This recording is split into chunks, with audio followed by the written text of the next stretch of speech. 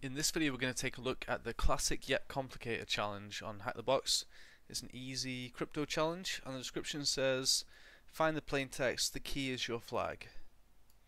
And it tells us then that the format of the flag is Hack the Box with the key in lowercase.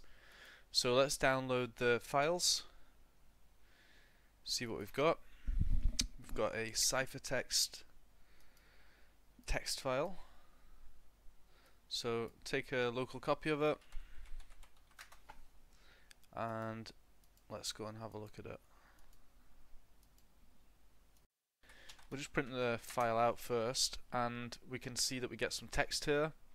It's still in uh, English alphabet and ASCII range anyway and we have numbers here combined with letters which might be worth bearing in mind. Uh, the challenge description told us there was a key so it's it's um, unlike although from looking at that it could easily be something uh, a rotation or a substitution problem. It suggested that there was a key so I'm assuming it might be more like an XOR problem or something. It's been over three years since I solved this so um, let's take a copy of the text and we'll take it over to CyberChef and see what we can do with it So the first thing we might want to do here on any of these crypto challenges is just uh, run magic in CyberChef just if we can get an easy win with anything. But this isn't going to include a lot of things. We can also, if we know that the phrase or the ciphertext is going to contain like the word flag or HTB or something like that, we could also put that in there as a crib. You can see the parameters here. If we highlight magic, it takes the depth as well. So um, the number of levels will depend the the, the level of recursion. The number depends will determine, should I say, the level of recursion. Uh, intensive mode, so uh, different things will be brute forced, including XOR. Let's actually enable intensive mode to see if we get anything, because no, we don't get anything. Uh, let's take out that crib just in case that was causing issues, because um, internal error in blob. Okay, let's see this now. You see now it's because we've done intensive mode, it's trying to do some XOR operations and stuff as well. If we scroll through this, do we get anything? No? Okay. Um, yeah, always worth trying anyway. So, in terms of these uh, recipes here, we can build things up as well. So it might be a case of we might have a, like a ROT13 that we have to do first, or a different uh, number of rotations and then follow that with for example uh, XOR so grab the XOR and um, you can put any number of operations in here. Obviously the order that they're in will be important as well. Let's turn off the ROT13 we can uh, set breakpoint disable operation. We want to disable the operation. And we have the XOR now the challenge description said about a key, so I've got a feeling that it's probably going to be an XOR problem. If we put in a value here, it's going to basically it's going to XOR it, so we could be guessing things here. But you'll see here we also have a XOR brute force. It says current maximum key length is 2 due to browser performance. So let's remove the XOR and let's do XOR brute force. And then you can see we can scroll through the different keys and just have a look at the text and see do we have anything which looks like it might have a flag in it? Again we can say that uh, we're looking for flag as well or something in there. Let's try key length 2 see if we're if it's able to load this for us. It might be too much. Might take a little while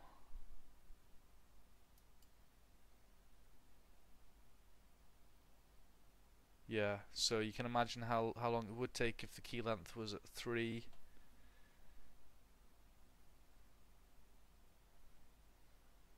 Okay.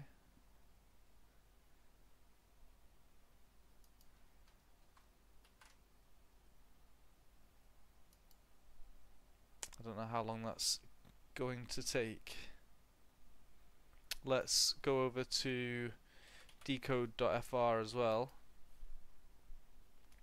We have the Caesar cipher here, we can do this to test all and we can go through and I think with the rotation we only did rot 13 as well but because it's saying that the key is a flag it's not likely to be a rotation cipher unless there's just a rotation first but it doesn't look like there is. Okay so let's see let's have a look at the full tools list here. You can see a full list of crypto tools. We did the substitution cipher in the last example you have various transposition ciphers substitution ciphers there's a lot there's a lot here. Actually a lot more than we have available to us in CyberChef. Alright well CyberChef is um, taking too long to do this brute force. Let's try something else. Let's clear this recipe. So we can go through here. What we could do is look for the ciphers and we can go through each one and see which ones take a key. This one doesn't. just clear the recipe there. This just converts letters to numbers and vice versa. The bacon cipher doesn't take a key. The B bifid cipher does take a keyword. Hack the box. So this is a possibility the Bifid cipher. We have Affine cipher, doesn't take a key. Um, Enigma is the rotators and stuff, isn't it? So it doesn't really have a specific key necessarily.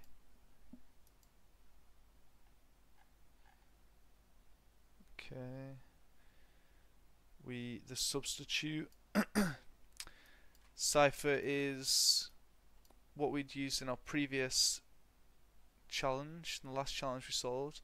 What about the Vigenere cipher? It's a method of encrypting alphabetic text by using a series of different Caesar ciphers based on the letters of a keyword. The keyword being a key. So this is like a, a series of Caesar ciphers being like the ROT13 style thing where this is a Caesar cipher which rotates the alphabet, and 13 is obviously by 13 places, but this Vigenere cipher would determine. So let's try and let's put in here like flag, hack the box. And you can see that's all starting to change. It doesn't give us an option to brute force this here, so let's see if we we can search for the cipher here and you'll see that we have a lot more options available to us than on um, the CyberChef.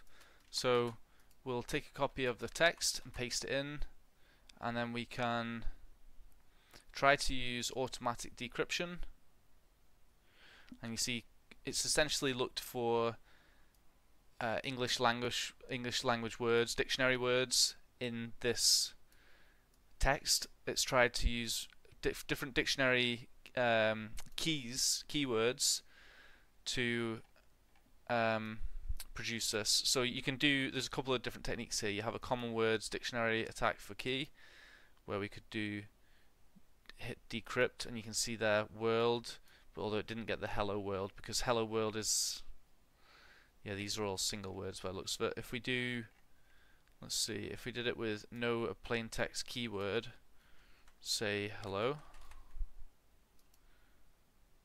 was hello in there? Okay, this kind of got it. See it got hello hurled, and it's got kind of the text. Um, if we would have said century, maybe it would have got it. Yeah, if we said century, it found that it was hello world. Uh, the common words dictionary attack didn't work there for some reason. If we do cryptanalysis, it's going to give us more probabilities, I guess, of which is which, but it doesn't give us an actual. Alright, but the automatic decryption gave us a a key anyway. Oh, it really wants me to disable the ad blocker. It gave me a key, so if we were to submit this, flag, and pass that in, obviously change it to lowercase. we'll see that um, oh incorrect flag uh, hack the box HTB challenge already solved. So that was a correct flag but it had already been solved. Okay and I hope you've enjoyed this video. If you have any questions any comments you can leave them down below. Thanks